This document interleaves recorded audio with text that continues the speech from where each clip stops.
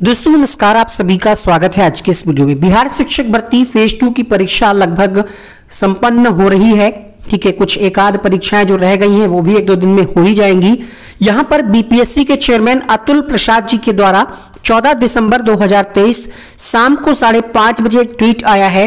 ये कह रहे हैं कि हमने ओएमआरस जो है आपकी टीआरई 2.0 की अपने आ, स्कैन करके अपने पोर्टल पर अपलोड करना इन्होंने शुरू कर दिया है। और इस काम को पूरा करने में लगभग 15 10 से 15 दिन लगेगा।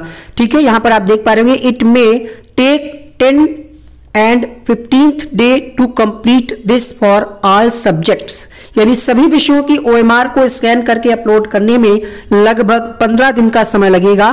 This time scanned OMRs will also contain scan reading candidates, answers और response. यानी ये पूरा एक तरीके से रिज़ल्ट बनाने की प्रक्रिया शुरू हो चुकी है और आज ये वीडियो अपलोड हो रहा है चौदह तारीख को और चौदह तारीख को ये ट्वीट आया है।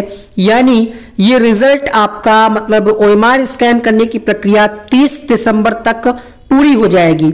रिज़ल्ट कब तक आएगा, इससे पहले दैनिक भास्कर की तरफ़ से प्रकाशित की गई थी यह खबर, जिसमें कहा जा रहा था, रिज़ल्ट 15 जनवरी तक संभव सामूहिक नियुक्त पत्र देने की तैयारी। यानी आपकी जो ओएमआर है, वो प्रक्रिया अपलोड करने की प्रक्रिया ये 10 से 15 दिन में कर लेंगे 30 तारीख तक ये प्रक्रिया संपन्न हो जाएगी। और यहाँ पर मैक्सिमम है ये 15 जनवरी, उससे पहले भी आपका रिज़ल्ट आ सकता है 10 जनवरी के आसपास, यानी आने वाला 2024 हज़ारों बच्चों के लिए काफ़ी बेहतर अवसर लेकर के आएगा, जिसमें वो एक अपनी सीट पक्की करेंगे। बिहार के सरकारी स्कूलों में बिहार के शिक्षक बनेंगे और आप सभी को बहुत बहुत शुभकामनाएँ। आगे की जो भी अपडेट आएगी, हम आपको सूचित करेंगे।